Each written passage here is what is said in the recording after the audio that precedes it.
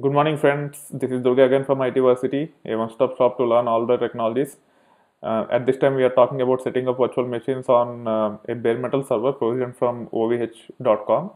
We have set up uh, e- uh, ESXi on that bare metal server, and now we are in the process of setting up pfSense. So we have already seen the concepts of concept of virtual router. Uh, so a virtual router is primarily created uh, for our virtual machines to communicate within each other without uh, uh, going to the external uh, switches. And uh, we have done uh, all the groundwork by having the IP address or by buying the IP address so that we can assign a public IP to pfSense. And also we have created adi- additional port groups and uh, additional switch uh, so that we can actually have both WAN for public networking and LAN for private networking using pfSense as virtual router. So we'll go ahead and see uh, the other details. Okay, so you can see now um, as part of uh, last video towards the end, I try to refresh uh, this page and it took very long time and now it is refreshed successfully and you can see uh, virtual switches vSwitch 0 and vSwitch 1 and even if you click on more networks you, you will not see uh, that VM network. You will only see WAN, LAN and the management network under port groups okay now we have to create our first virtual machine and then we have to set up pfSense on that virtual machine uh, is like a physical server which will have RAM, CPU, storage, etc. And then we have to uh, install software on top of it. So to click on virtual machines and then select create um, or register uh, a virtual machine. In this, I, I would like to create a new virtual machine. I am not going to deploy existing one or registering uh, an existing one deploy a template or registering an ex- existing one. So click on next.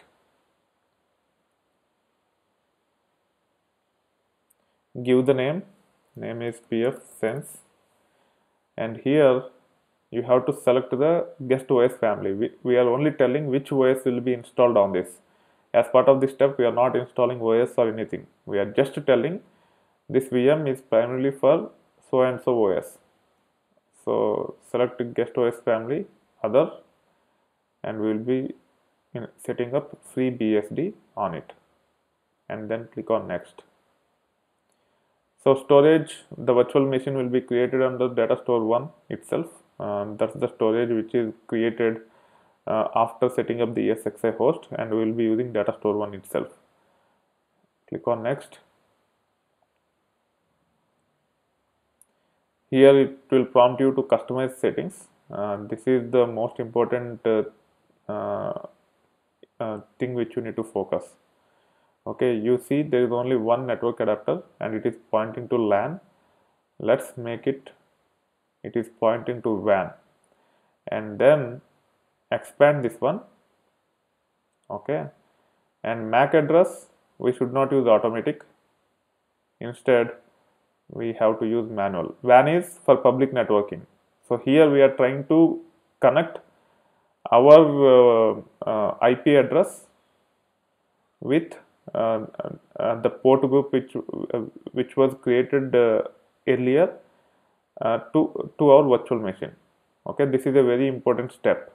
WAN is a port group which is created as part of the last video, and uh, um, it is connected to uh, vSwitch 0. Okay, vSwitch 0 uh, can be used for public networking and to to make uh, to facilitate us to access this uh, virtual machine through uh, public IP uh, from external to OVH, we have to assign the MAC address of that public IP. So that MAC address is also generated as part of the last video.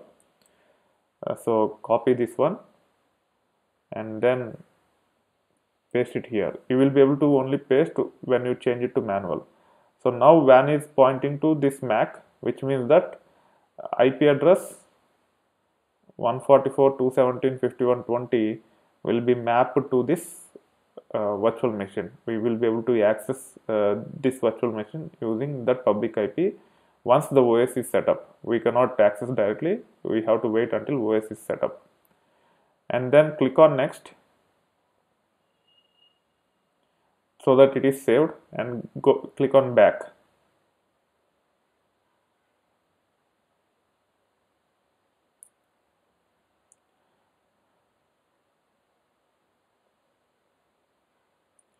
Okay now you you see the network one adapter the name is changed to network adapter one. Earlier the name was a little bit different. And here you can see the the details are preserved. Now we have to add one more network adapter for private networking. Okay and here you don't need to change anything. It is automatically yes, uh, LAN is automatically selected. LAN is nothing but a port group which is not assigned to any of the physical adapters or physical equipment. It is just a virtual thing which we have created. First we have created a switch called vSwitch1 without any uplink. Uh, so we are not pointing that vSwitch1 to any of the external devices. And then we have created a port group called LAN uh, using the vSwitch1. Okay, you can review this, leave it as automatic and then click on next okay and then finish. So now we have a virtual machine. It has ram. I didn't review this uh, those details. I will do that now. So here if you select this one and click on actions and click on edit settings this virtual machine have ram cpu storage and uh, the network switches. So it is ready for us uh, it is ready uh, to for the uh, for the setting up of operating system on it. So you can see that cpu is one. We have given one cpu we have 16 uh, uh, threads on this machine. We, one is enough for pfSense if you want more you can assign more and memory is only 1 GB that is more than enough. If you want we can change anytime later. And uh, hard disk I am planning to give 32 GB okay. Out of 1.81 terabyte uh, uh, storage available. And then we already have given network adapter LAN and WAN. Okay here something is uh, bad. It is not saved properly. So let me change it to WAN and uh, let me change it to manual. Paste that MAC. And then LAN. I thought when I click on next it has saved it does not. Uh, so it is very important to order like this. First we, you have to get network adapter as WAN. And then you have to get network adapter as LAN. And here it should be automatic. Okay?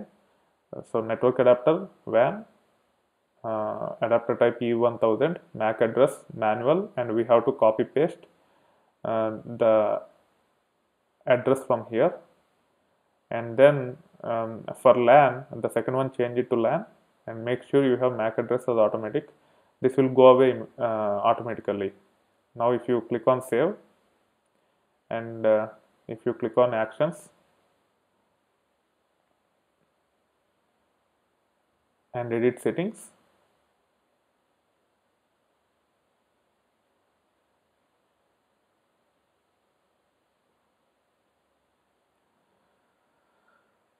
this is a very very important important step. You have to make sure that everything is configured properly. Otherwise you will uh, see surprises later. Okay? So spend uh, enough time and make sure that everything is configured properly. If you go to LAN anyway let us make sure that this is deleted to avoid any surprises and then change it to automatic and then save. So now we have um, uh, one CPU, 1 GB RAM, and uh, 32 GB hard disk. Okay, and uh, then we also assigned a public network using port group WAN and private network using port group LAN. And now we have to set up operating system on it. It's a virtual machine. It, it will not have CD drive and how we can actually set up operating system on it that too remotely so for that what you have to do click on actions go to edit settings and this is where our shared directory comes into picture so if you remember the steps uh, after setting up the ESXi, we have downloaded pfSense and CentOS to a location called data store 1 shared.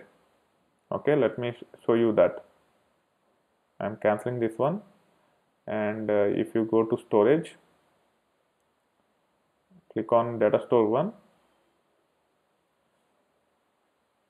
data store browser, there is a shared location here this pfSense is the virtual machine name which we have created.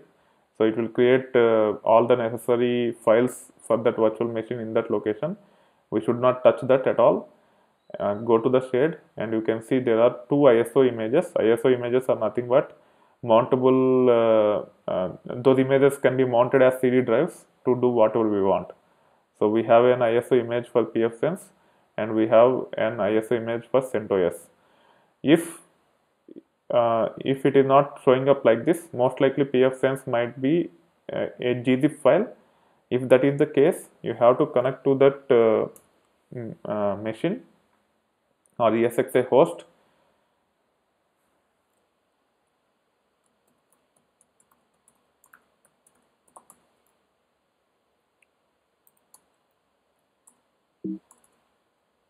Vmfs volumes. Data store 1 shared ls-ltr and you can see there are two ISOs right? If um, actually what we have downloaded and uploaded for pfSense is a gzip file. If you see gzip file here you might not see a cd icon here. If that is the case log into the server and then run command called gunzip which will uh, unzip that uh, compressed file. And then you will see a ISO file like this. Okay you have to make sure you execute this step okay so now we will be using this to set up the uh, uh operating system and uh, whatever we need to do uh, to set up both public networking and private networking which means that we will try to use that virtual machine as a virtual router. Okay so now go, go back to the virtual machines, select PF sense, go to actions, go to edit settings,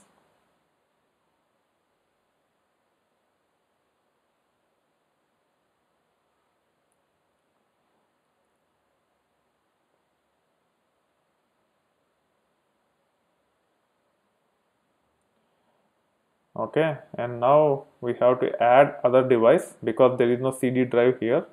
So we have to click on add other device and click on CD or DVD drive. And here you have to select data store ISO file. It's under data store 1 shared if you want to set up pfSense we have to use pfSense ISO if you want to set up CentOS we have to use CentOS ISO in this case we are trying to set up pfSense and remember when we actually set up the virtual machine at that time we have to use um, we have to set the guest operating system to appropriate uh, operating system. Otherwise there could be some issues and we have chosen FreeBSD for this. Okay so make sure you choose FreeBSD we will review those things.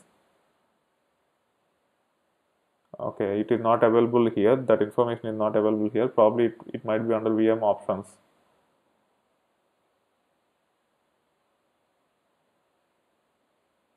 Yeah if you go to general options make sure the guest OS is other and version is FreeBSD okay it's similar to Linux but not exactly Linux okay and we have added uh, the CD or DVD drive uh, pointing to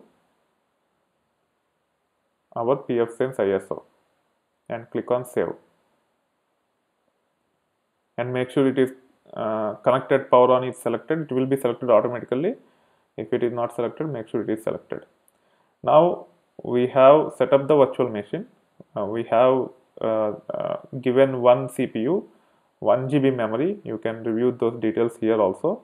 Guest OS is FreeBSD and 32 GB hard disk.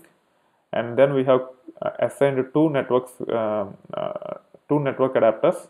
One is WAN, which is uh, uh, uh, which, for which MAC address is manual, and this is copied as the MAC address. And the other one is LAN. Second network adapter assigned to this is LAN, and we leave it as automatic.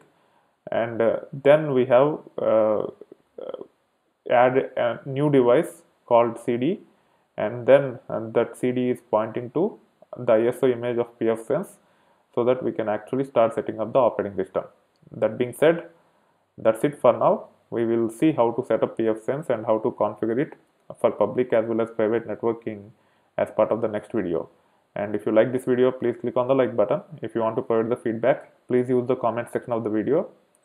If you want to discuss further uh, on any of these technologies, please subscribe to my channel yet and stay tuned. I am working on a common platform where we can discuss together and learn any technology we want to learn. That being said, thank you. Bye.